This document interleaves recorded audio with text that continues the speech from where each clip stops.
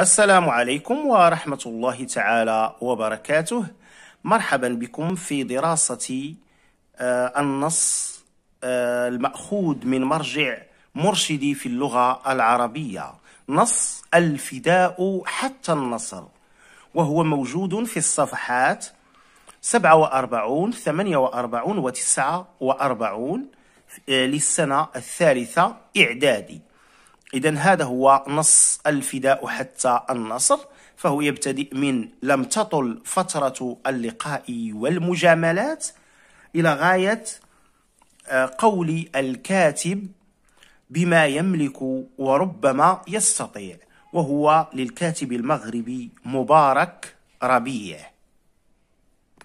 إذا في دراستنا لهذا النص سنبدأ بعتبة القراءة من خلال ملاحظة مؤشرات النص الخارجية. سنبدأ بصاحب النص. إذا قلنا هو مبارك ربيع وهو كاتب وأديب مغربي. آه، ولد سنة 1935 بمنطقة سيدي معاشو بعمالة سطات. آه، اشتغل بالتعليم الابتدائي ابتداء من سنة 1952 حصل على الإجازة في الفلسفة وعلم النفس وعلم الاجتماع سنة 1967 ثم على دبلوم الدراسات العليا في علم النفس سنة 1975 كما أحرز على شهادة دكتوراه الدولة سنة 1988 ويشتغل حاليا قيدوما لكلية الآداب والعلوم الإنسانية بن مسيك سيدي عثمان ب البيضاء. إلى غير ذلك من ترجمة هذا الكاتب وله الكثير من الأعمال. ها هي دي أمامكم. إذا مجال النص إذا هذا النص نص آه، الفداء حتى النصر فهو يندرج ضمن مجال القيم الوطنية والإنسانية. أما مصدره من أين أخذ النص؟ فالنص مقتطف من كتاب طريق الحرية كما قلنا للأديب المغربي مبارك ربيع نوعية هذا النص. إذا النص آه، هو عبارة عن نص سردي ذو آه، بعد وطني. دراسة العنوان. إذا الفداء حتى النصر. إذا ما نوع المركب هنا؟ إذا هو مركب إسنادي. لماذا؟ لأنه يتكون من مبتدأ اللي هو الفداء وخبره محذوف تقديره الفداء مستمر حتى النصر. ويدل العنوان على التضحية وبذل النفس على على سبيل الاستمرار وعدم التوقف إلا حينما يتحقق النصر. بداية النص ونهايته. إذا نلاحظ في بداية النص ونهايته مؤشرات دالة على نوعية النص مثل الشخصيات الرفاق الإخوان والمكان الأكواخ قرب الضيعة. ألفاظ دالة على الحكي وقائع يومية أحداث. إذا هذه المؤشرات فهي تدل على أن النص عبارة عن نص سردي.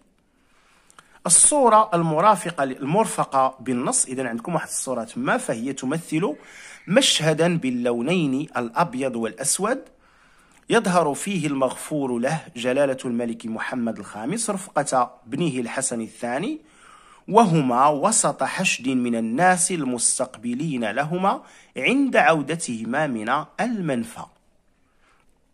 إذا انطلاقا من هذه المؤشرات السابقة وبناء عليها سنفترض أن موضوع النص ربما سيتحدث عن المقاومة المسلحة بالمغرب التي واكبت فترة نفي الملك محمد الخامس. إذن هذه فرضية القراءة. ننتقل للقراءة التوجيهية. نبدأ بشرح الكلمات الصعبة. إذا الفداء إذا معنى الفداء فهو التضحية والنضال.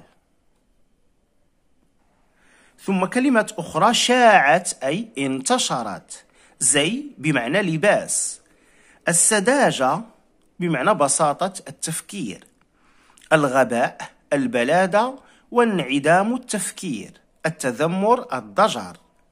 اكتضت امتلأت وازدحمت. سياج شباك.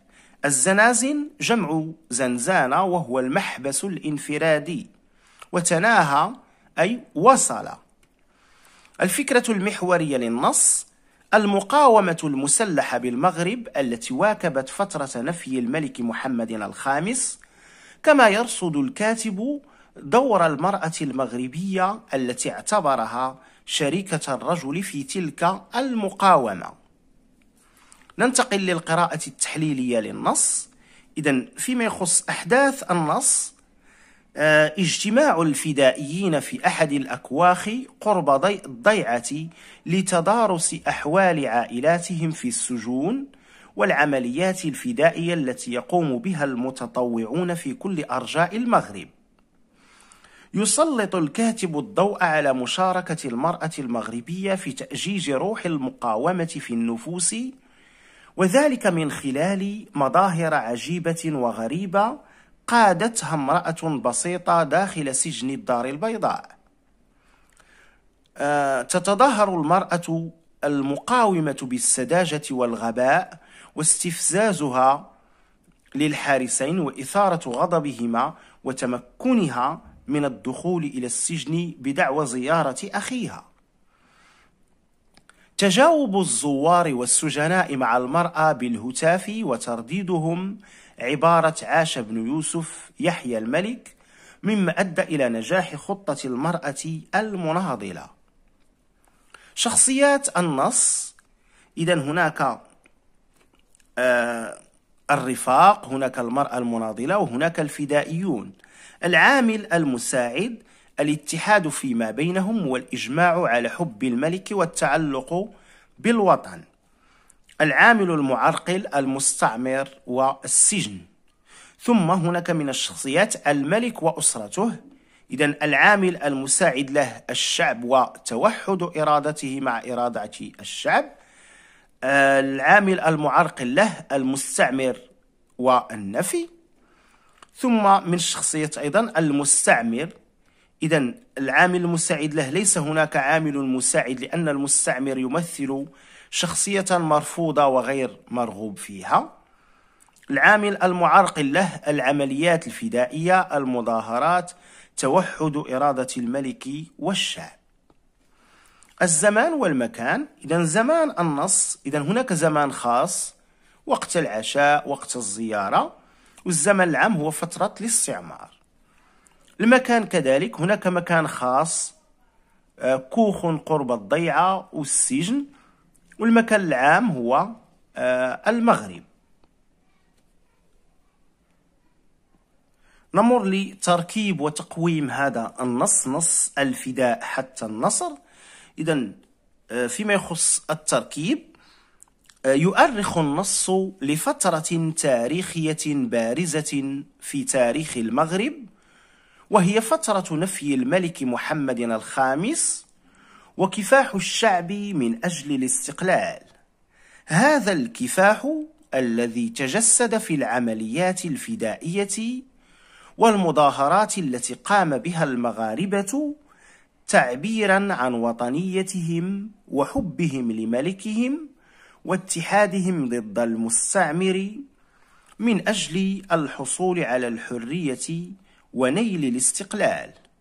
تقويم النص آه، أو قيم النص فالنص يتضمن قيمة وطنية تتجلى في إبراز مكانة الوطن لدى المغاربة.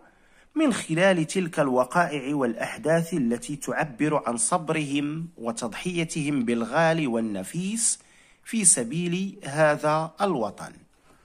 إذا نكتفي بهذا القدر. شكرا لكم على حسن المتابعة.